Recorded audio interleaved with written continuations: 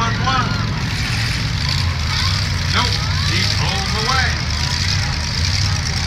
911, not giving him any room. He don't want any damage. That must be his mother-in-law's car. Brand new looking car. You got hit, you got hit. Brandon Davis from Piedmont, car number 15.